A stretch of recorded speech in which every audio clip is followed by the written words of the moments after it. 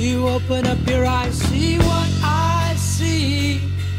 Do you see the same things every day?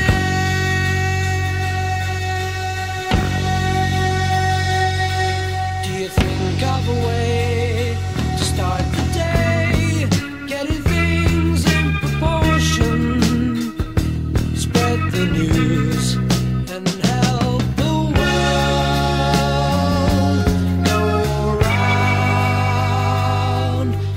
heard of a time that will help us get it together again? Have you heard of the word that will stop us going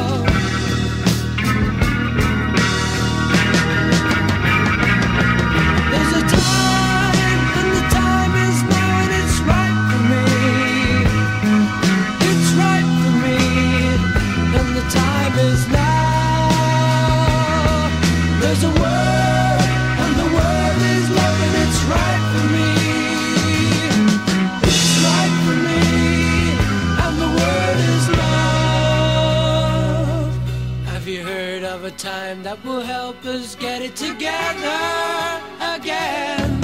Have you heard of the word that will stop us going